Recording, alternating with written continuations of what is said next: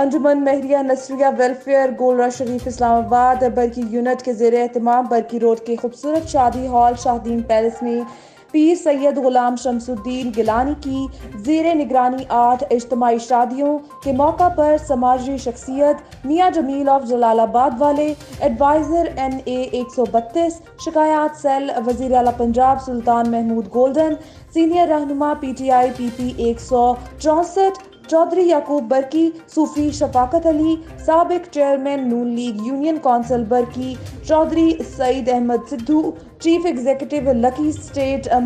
Malik Sultan Mahmood, general secretary union council Barki, Hafiz Muhammad Hamraz, سماجی شخصیت مذہب و دیگر معززین سیاسی اور سماجی شخصیات نے شرکت کی۔ اس موقع پر علامہ غلام محی الدین گولڑی نے خصوصی خطاب کیا اور علامہ محمد حسین گولڑی نے نظامت کی۔ اویس خان، مشرق ٹی وی، لاہور۔